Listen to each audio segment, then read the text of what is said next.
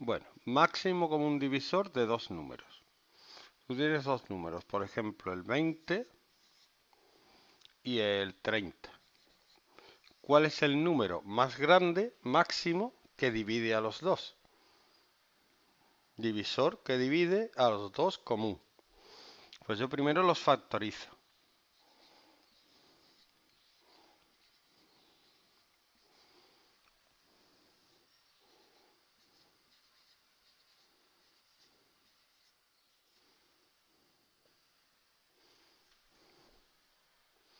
¿Qué? ¿Qué pasa con el 5? No. Por eso he puesto estos dos números. No es el 5. El máximo común divisor es factores comunes al menor exponente. Se cogen los factores comunes al menor exponente. En este, 20 es 2 al cuadrado por 5 y 30 es 2 por 3 por 5. ¿Qué factores son comunes? El 2 es común porque aparecen los dos, pero tengo que coger el de menor exponente, que es este. ¿Vale? Y luego el otro común es 5, que aparece con el mismo exponente, así que cojo uno de los dos. El máximo común divisor de 2 y 5, perdón, de 20 y 30 es 10. Fíjate que yo puedo dividir 20 entre 10 y 30 entre 10. O sea que divide a los dos números. Y además es el número más grande. Por ejemplo, los podría dividir entre 5 también, pero no, es el número más grande que divide a los dos números. ¿Mm? Esto sería como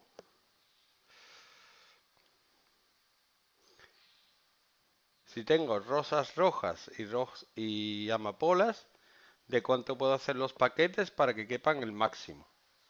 ¿Mm? En cada paquete siendo iguales.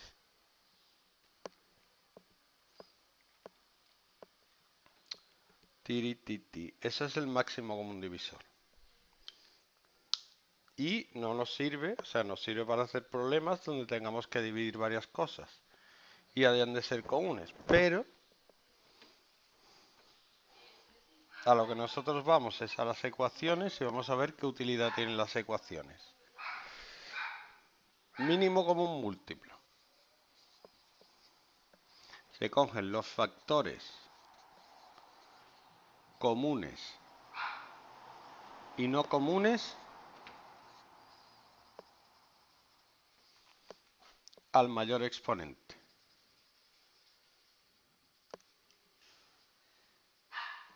Ejemplo, ya que hemos hecho el 20 y 30, el típico problema es, imagina que coincides en una parada con dos autobuses, que uno pasa cada 20 minutos y el otro pasa cada 30 minutos. Si coinciden ahora, ¿cuándo volverán a coincidir? ¿Mm? Mm, mm, Los factorizo.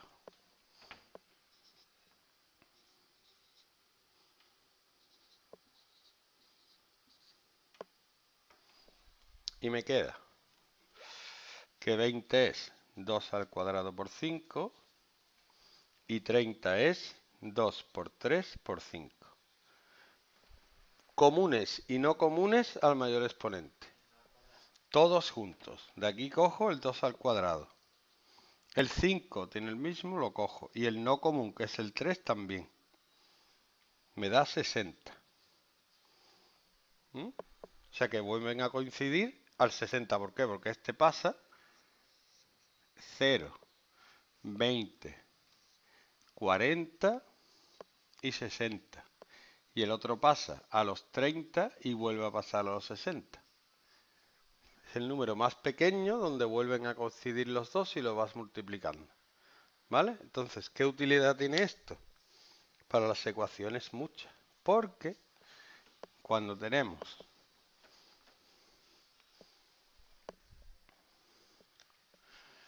x partido 4 menos 1 partido 3 más igual a 2 partido 6, por ejemplo. Lo primero que tienes que hacer es el mínimo común múltiplo de los denominadores.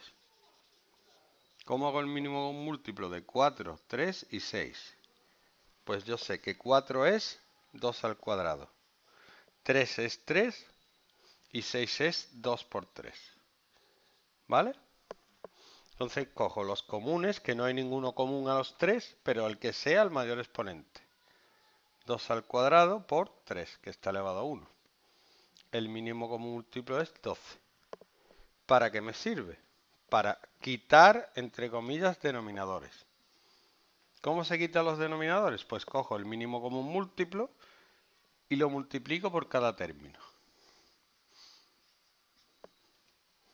Este es otro término, lo multiplico. Y este es otro y lo multiplico. Y me queda. Como este divide a los 3, me quedan números enteros. 12 entre 4, 3 por x, 3x. Menos 12 entre 3, 4 por 1, 4. Igual a 12 entre 6, 2 por 2, 4. ¿Ves? Y ya no te quedan denominadores. Se simplifican. Entonces se busca el número más pequeño para que no tengas que hacer operaciones demasiado grandes. También me hubiera valido el 24. Hay gente que lo que hace es multiplicar los tres números. Mal. ¿Por qué? Porque te queda un número muy grande. 4 por 3, 12 por 6, 72. 72 es un número muy grande. Te vale, pero te van a quedar números más grandes. Sí, pero te salen números más grandes. Es menos práctico. Es más fácil que te equivoques. ¿Mm?